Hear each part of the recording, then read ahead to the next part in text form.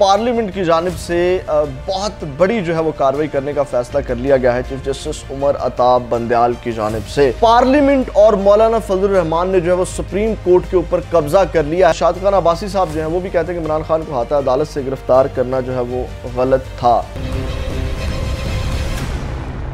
असलम मैं हूँ गुलाम रसुल भट्टी और आप देख रहे हैं खबर पॉइंट। नाजिर कराम बिल आखिर जो है वो पार्लियामेंट की जानब से बहुत बड़ी जो है वो कार्रवाई करने का फ़ैसला कर लिया गया है चीफ जस्टिस उमर अताब बंदयाल की जानब से। और एक जानब तो चीफ जस्टिस एक पार्लियामेंट की जानब से जो है वो चीफ जस्टिस साहब को घेरा डाला जा रहा है और जो चीफ जस्टिस साहब की सुप्रीम कोर्ट है, जिसके वो चीफ जस्टिस हैं, उसको पीडीएम की जानब से वो जो घेरा डाला जा रहा है, इस वक्त बड़ी इंटरेस्टिंग सूरत हाल हुई है। तमाम तफसीत आपके सामने रखते हैं। नाजर काम इसके साथ साथ मैं आपको भी बताऊँ कि शाद खान अब्बासी साहब जो हैं, वो भी कहते हैं कि इमरान खान को हाथा अदालत से गिरफ़्तार करना जो है वो गलत था। और उन्होंने अब एक और चीज़ सामने आ रही है, वो ये है कि डॉक्टर यासमिन राशिद जो हैं, वो कहती हैं कि जो हमला हुआ कोर कमांडर के घर के ऊपर जना हाउस में, उन्होंने कहा कि उसमें इन्होंने अपने बंदे भी जो है वो शामिल करवाए थे। उनका ये दावा है, इल्ज़ाम है, वो भी आपके सामने तफसीला रखेंगे।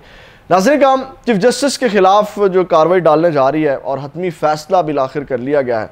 हालाँकि मैं नहीं समझता कि इस वक्त चीफ जस्टिस साहब के ख़िलाफ़ फ़ैसला इस तरह का बनता है, क्योंकि इस वक्त तमाम काम जो है वो हुकूमत की मर्ज़ी के मुताबिक हो रहे हैं, सिवाय एक जो इमरान खान साहब को रिहा किया गया।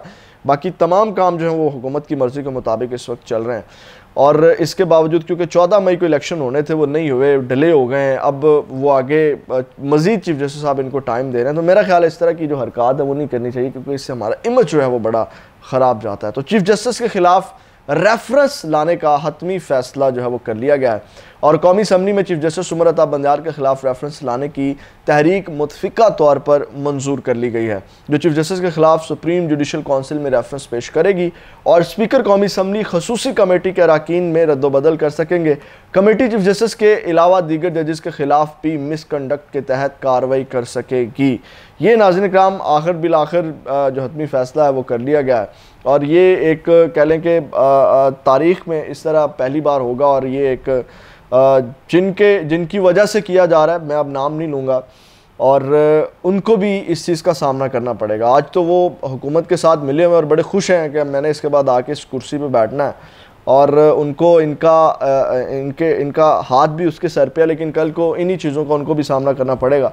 तो खैर, भुगतना पड़ेंगी चीज़ें। लेकिन दूसरी जानब नाजिन कराम इमरान खान साहब को जिस तरह गिरफ़्तार किया गया शादकान अब्बासी साहब बोल उठे हैं। और अक्सर मैं देखता हूँ कि नून लीग की खासकर सबसे बड़ी नाकामी की वजह यह है कि इनके अपने सीनियर रहनमा जो हैं जो ये अमल करते हैं उसके ख़िलाफ़ खड़े हो जाते हैं। मर, मरीम नवाज़ राना सनाउल्ला वगैरह या नवाज़ शरीफ तो इनके अपने जो पार्टी के रहनमा हैं वो उस बयानी के ख़िलाफ़ खड़े हो जाते हैं। ये इनकी एक नाकामी की सबसे बड़ी वजह है मेरे नज़दीक। तो नाजर काम सबक वज़ी अजम शाहद खान अब्बासी ने उन्होंने कहा है कि निज़ाम इंसाफ से लोगों का यकीन उठ चुका है।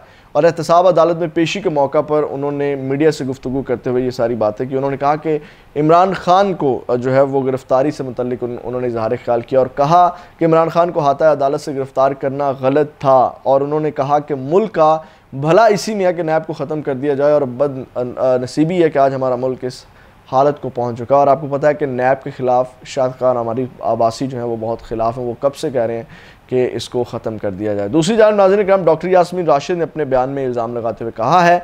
उन्होंने कहा कि अपने बंदे शामिल उन्होंने करवाया, ये जो हमला है। उन्होंने कहा, हम लोगों को तोड़फोड़ से मना कर रहे थे। इसकी आपको पता है कि वीडियो भी सामने आ चुकी है यासमिन, डॉक्टर यासमिन राशिद साहिबा की। और उन्होंने कहा कि तोड़फोड़ करके सारा मलबा जो है वो पीटीआई के ऊपर डाल दिया गया है। और ये हमारी पार्टी पर पाबंदी लगवाने की कोशिश कर रहे हैं। और दूसरी जानब नाजिन काम, चीफ जस्टिस साहब को घेरा डाला जा रहा है और सुप्रीम कोर्ट के ऊपर जो है वो कब्जा कर लिया मौलाना फजल रहमान ने।